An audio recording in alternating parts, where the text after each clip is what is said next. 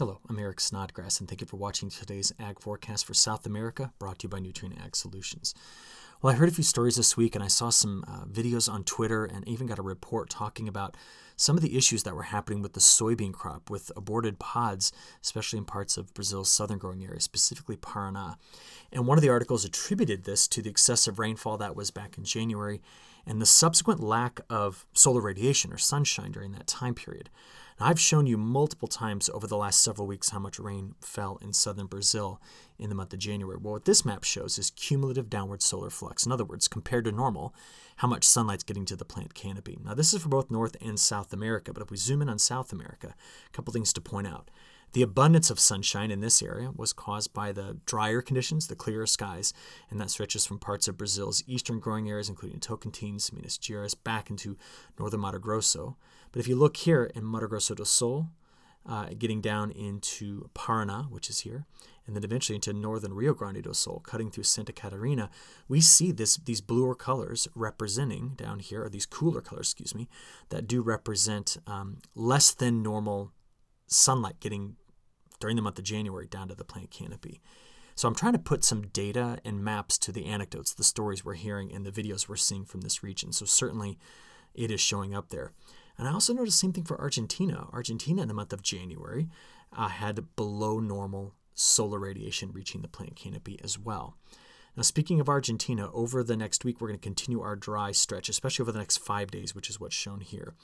And um, during that same time period, it will be quite wet in parts of Brazil's southern and eastern growing areas here, getting up to, uh, to Mato Grosso, where over the next five days we could be picking up, you know, two to three plus inches of rainfall in this area as the monsoon is actually quite strong right now.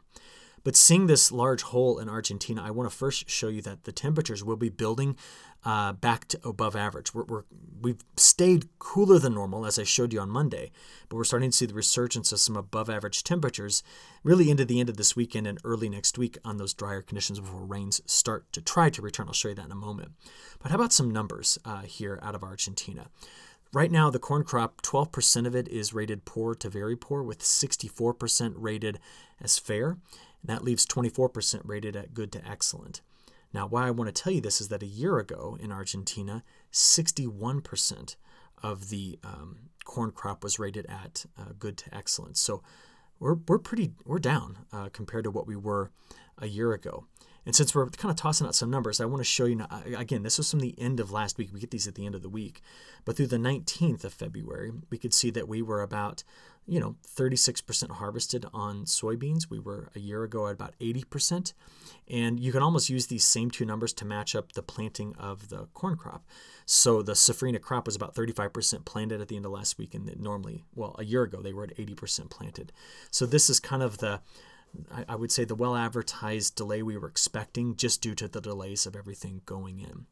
Now, from there, I want to show you um, March 2nd through March 7th. March 2nd through the 7th. What we're going to notice here is that in parts of Rio Grande do Sul, to parts of Uruguay, and Buenos Aires, that province, we're seeing drier conditions. But do you see the very wet conditions forecast for Argentina's western growing areas? Now, as we watch early next week, the potential for rainfall increases here.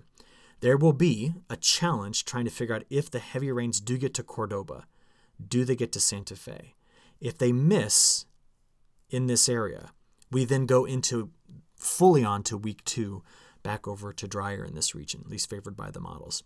We also see this eastern region of Brazil dry, but still keeping wet conditions here where we're actively trying to harvest uh, a crop right now.